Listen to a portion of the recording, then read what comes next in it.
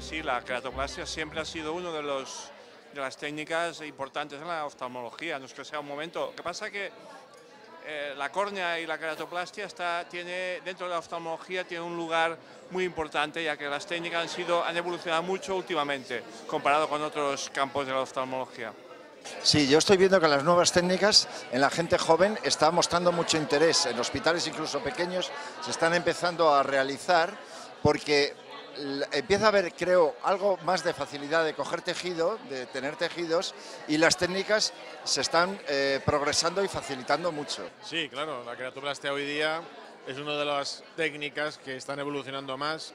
Las técnicas lamelares por capas de disección de la córnea es eh, un adelanto que ha sido importantísimo el, en el buen pronóstico del trasplante de córnea. Por lo tanto, es normal que la gente, que los compañeros tengan interés en estas técnicas, incorporarlas a su práctica diaria, ¿no?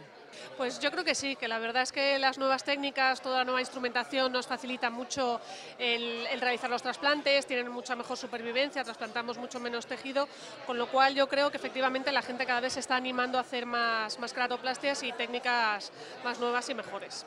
Bueno, la córnea está de moda. Llevamos unos años de, milagros quirúrgicos, de cambios constantes, de descubrimientos nuevos hasta en la anatomía de la córnea. ¿no? Creo que la córnea está viviendo un momento extraordinario.